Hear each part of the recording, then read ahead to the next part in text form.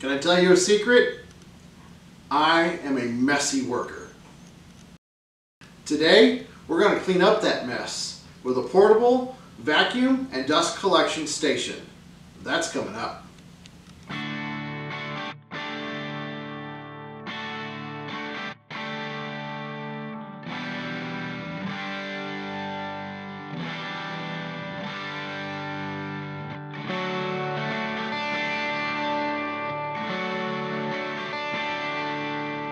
So this project is going to serve two purposes. On one side, we're going to put a vacuum station with a just regular backpack shop vac. On the other side, we're going to install a Dust Right dust collection system. All right, so this is a pretty simple design. Basically, we're going to do a five or six foot, still working on the measurements for that, uh, wall on a base, and then use a basically like an A-frame type uh, attachment on either side made out of plywood that connects the two boards together. Then off of that, on one side, we'll attach the vacuum system. It stands about four foot uh, tall when the bag is attached. Has the motor at it and uh, basically a hose that comes off. On the other side, I'll have the backpack. Uh, it's basically a small uh, form factor shop vac that's made made to fit against the wall, but you can take it off and carry with you. Um, the hose wraps around it, and then we'll put attachments on here as well for the uh, brushes and, and such. And then at the very bottom, make it room on here to stick a trash can. We'll go with five nine. Take it basically taking off just a little bit more for the uh, for the wheels. Puts the overall height about six, six one, somewhere in there.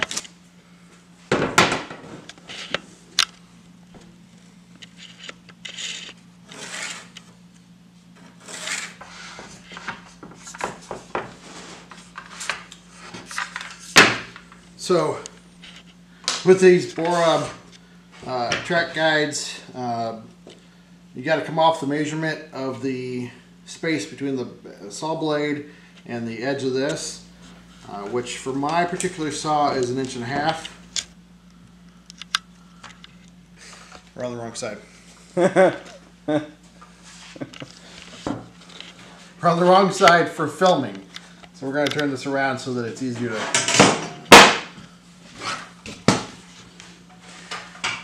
Measure twice, cut once, frame up the camera six times. right.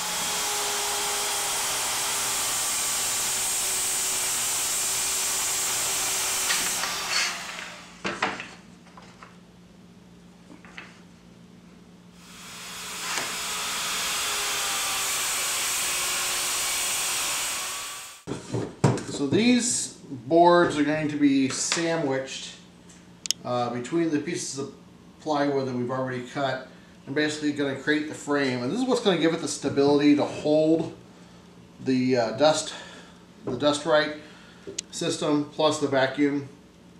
Um, ultimately, we want to make sure that the thing is not top heavy and going to fall over. And so, you know, giving it the stability that we need on this, uh, this should should resolve some of that.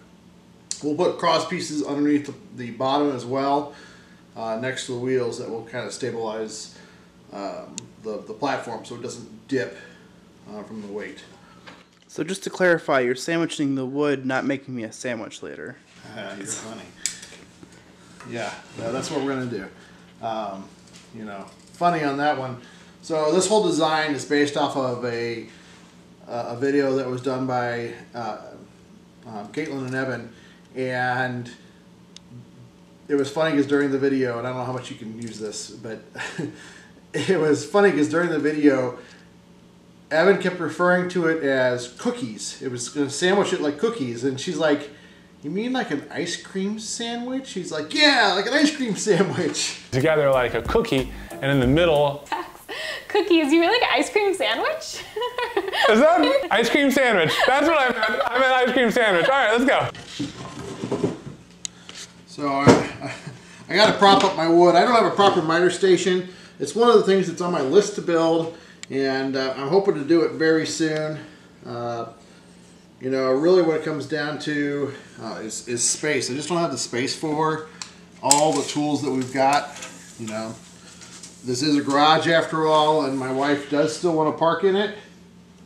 Thinks that she needs to park in it, something like that. And so I'm trying to get as much into the space as possible.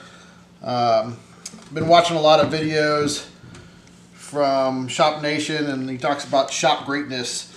Um, you know, I would just be happy with shop functionality. On that note, make sure you like this video so that she knows this is a real thing, not just a midlife crisis. ah, you're funny. Oh, I know, right? So, so, so my wife doesn't think it's a midlife crisis. Kids are more of the ones that think it's a midlife crisis. You know, I've been building stuff out in the garage all of their lives. Most of it Halloween type stuff. I'm just the whole YouTube thing is is just kind of documenting it so that I remember how to do some of this stuff.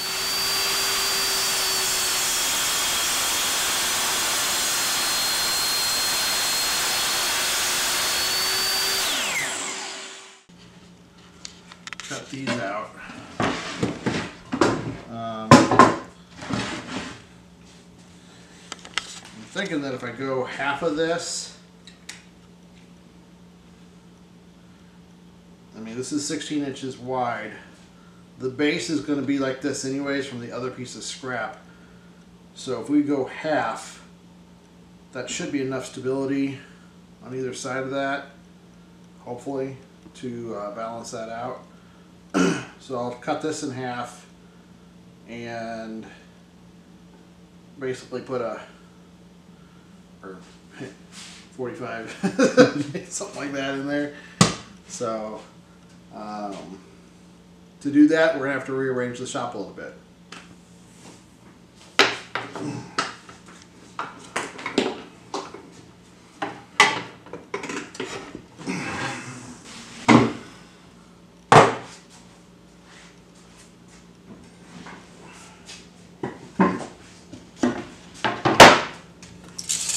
I don't know why I'm marking it. Table saw. Has a Table saw has a uh, tape on it. great marking system on it.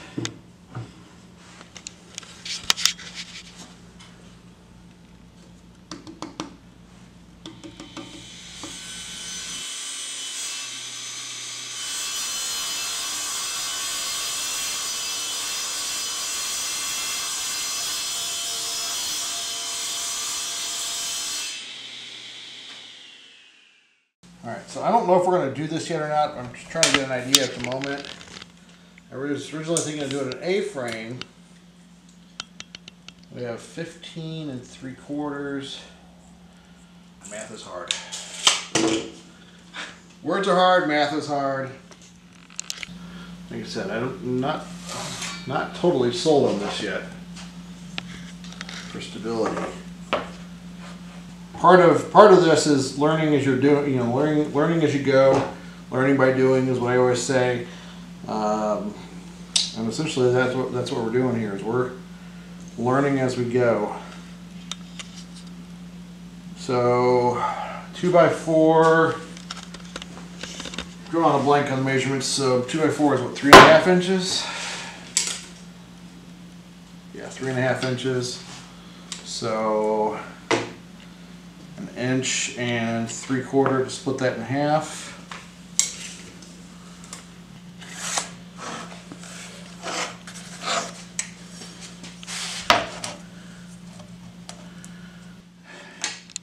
All right, so the whole math is hard concept. I'm basically going to turn this and find my angle. Because I don't know what it is. And I don't have a protractor to figure it out.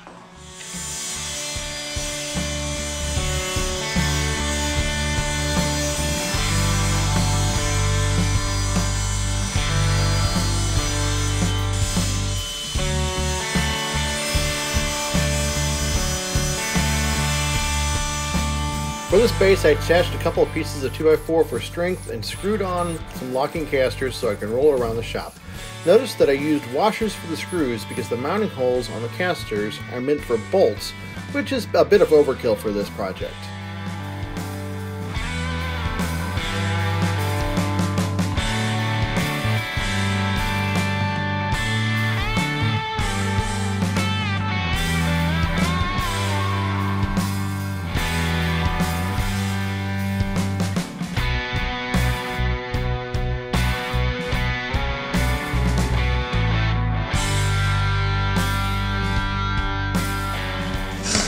Why don't you grab your bigger angle for that? Because I'm not that smart. I mean, I can't eyeball it. Used to do it with airplanes and they're still flying. Well, that's that good enough for government work thing.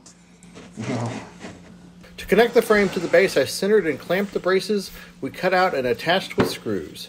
I sandwiched the 2x4s between the plywood to assemble the frame. Then I slid it into position, centered on the base.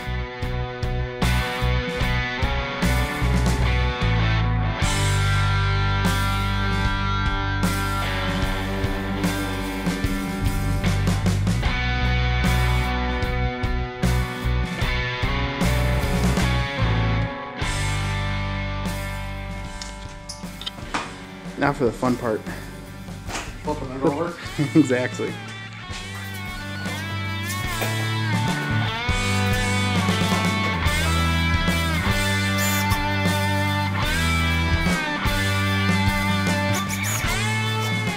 Now that the stand is together, it was time to attach the vacuum and the dust collection system. The vacuum mounting plate is designed to hold it to the wall, but it can be easily released to carry around the garage. On the other side, I'm using a Dust Right collection system from Rockler. It has a French cleat that makes it easy to hang from our frame. It's designed for mounting onto the studs in your wall. I positioned it so that it would be just high enough off the ground to hang the bag freely.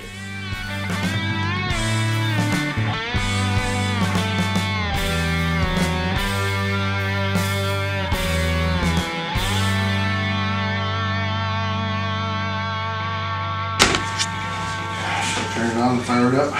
Yeah, sure, why not?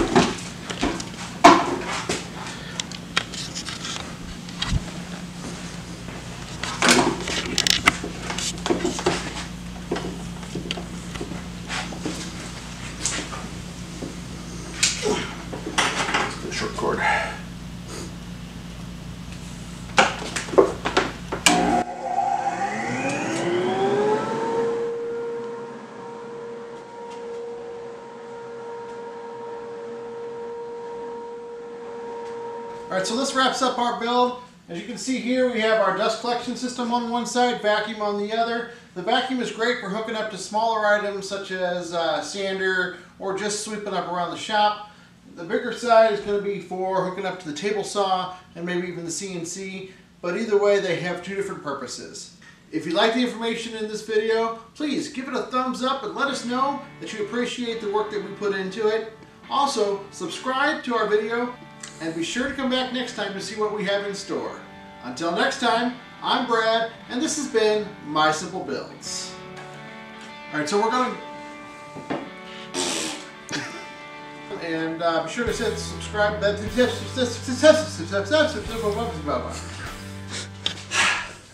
You want to start over on that? Yeah. yeah.